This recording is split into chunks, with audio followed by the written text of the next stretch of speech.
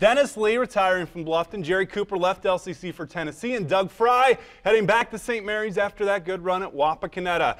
Now the Western Buckeye League has another coaching vacancy along with the Redskins as Mike Mauk has landed a job in Glendale High School in Missouri, which wraps up a 31-year career at Kenton High School. The state champion coach told his team today about the move to Springfield where his daughter and grandchild lives. It's also a three-hour drive from Columbia, where of course Maty plays for Mizzou. The Kenton superintendent told us that Coach Mauk made her aware of his plans today, but has yet to submit the retirement notice. She also said Coach Mauk had inquired over the past couple months about the possibility of retiring and then being rehired.